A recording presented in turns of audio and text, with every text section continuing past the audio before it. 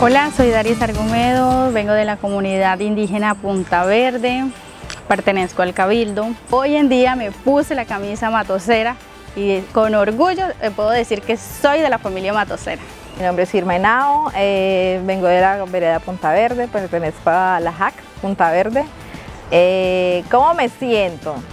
Feliz, súper feliz por portar esta camiseta es un logro para mí, es un propósito que yo tenía primeramente conmigo y con mi Dios, con la ayuda de mi Dios. Eh, afortunada, mejor dicho, muchísimas gracias a la familia Matosera